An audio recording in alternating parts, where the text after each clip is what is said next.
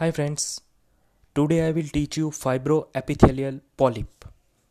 The other name of this polyp is skin tag or soft fibroma or the fibroma pendulum. It is also known uh, well known by its another name that is acrochordon, right? So all these are name of single entity. So let's start the discussion on the skin tag. So what will be the microscopic finding of the, of this skin tag? The name itself suggests it's a fibroepithelial polyp. A polyp means edematous mucosa. So here there will be outward projection of the skin that is polyp. Epithelium is obviously stratified squamous epithelium of the skin and the fibral means there will be presence of fibrosis so first uh, there will be presence of lining epithelium the skin looks like growing outward right so this is the lining epithelium. That is the skin lining. It's a stratified squamous epithelial lining. Right? Usually such uh, polyp is having the fibrovascular core. And there will be presence of uh, very loose collagen beneath the lining epithelium. So here you can see that uh, collagen is very loose. Uh, this is the collagen right so it's uh, very loose. Uh, we can say that there will be presence of uh, dermis edema. There will be dermal edema. So the stroma is edematous. And there will be presence of proliferated vessels. Uh, capillaries in the stroma. So that are the microscopic findings. Now you have to remember that uh, lining epithelium usually show the hyperkeratosis, right? So here is the presence of hyperkeratosis. Uh, there will be obviously present of hyperkeratosis in such skin tag. And you can see that uh, stroma is very loose. Just see, it's a myxoid loose stroma. We cannot say myxoid, but it's a very loose stroma, right? Uh, there might be presence of scandi inflammation as well sometimes.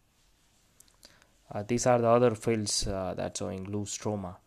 So that is regarding the histopathological finding of fibroepithelial polyp. Now what's the treatment?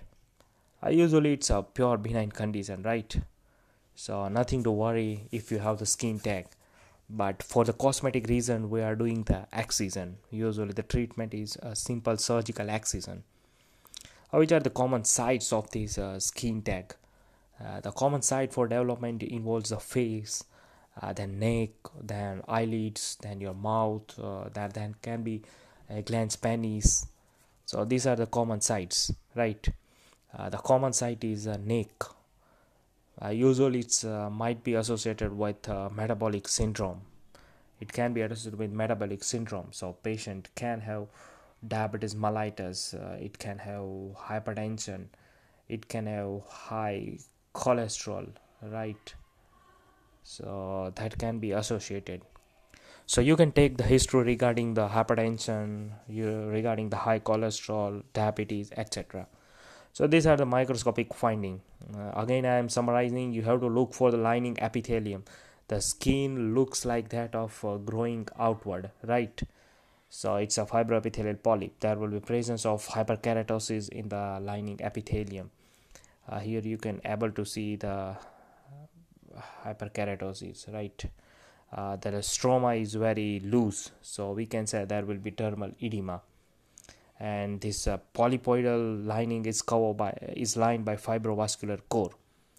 So these are the feature lining epithelium is like that of skin fibrovascular core and the collagen is loose. So this is regarding the fibroepithelial polyp. Hope my video will be beneficial to you in making the diagnosis of this simple fibroepithelial polyp. If you like my video, subscribe my channel and press the bell icon so that you can get notified whenever I am posting the new video. Uh, thank you very much.